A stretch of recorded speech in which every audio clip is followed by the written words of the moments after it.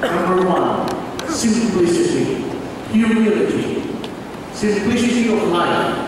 They have to be simple because they are poor. They have to be humble because they are poor. It's not, it's not, it's difficult to be powerful and rich and yet to be simple and humble.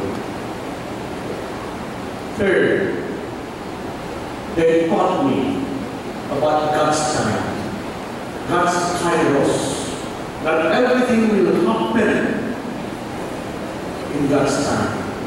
There might be drought that destroys the field of the poor farmer, but they will say, in God's time, we can plant again. In God's time, our children can go to school. Kairos. God's own time. That's evangelizing for me. Because I am told to this timetable.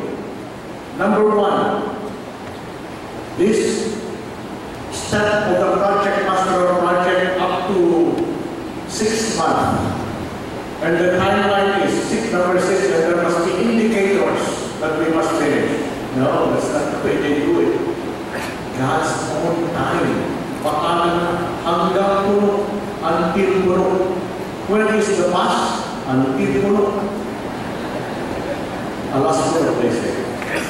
So, my dear brothers and sisters, I think I have taken most of the time of the reactors.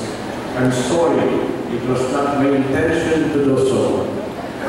Sometimes I get carried away by what I'm trying to say.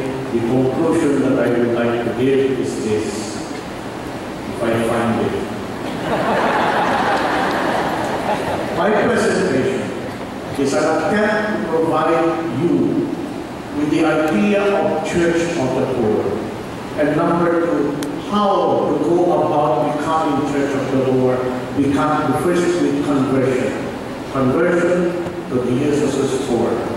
My inspiration as a bishop has always been Jesus the poor. In the three dioceses I've had, Kidapawan, Nueva Segovia, and Cotabato now. And the, the, vision that I have always had, even before P62, was Church of the Poor and for the poor. And my prayer has also been Mary. Mary, the poor maiden, mother of the poor. To become a queen, the Church of the Poor, my brothers and sisters, is a dream whose realization makes us genuine missionary disciples of Christ.